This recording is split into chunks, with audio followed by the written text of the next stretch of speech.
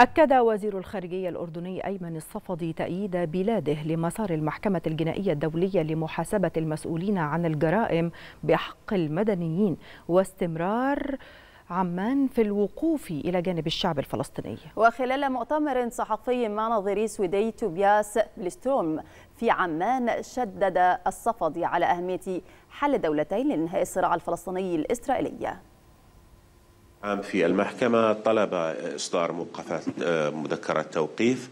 نحن ما نقوله بشكل واضح أن القانون الدولي وجد ليطبق أن منظمات العمل متعدد الأطراف ومؤسساته بما فيها الجنائية وجدت لتقوم بدورها لتأخذ العدالة مجراها. لا أحد فوق القانون والقانون يجب أن يطبق ولتأخذ هذه العملية مداها وعلى الجميع أن يحترم قراراتها عندما تصدر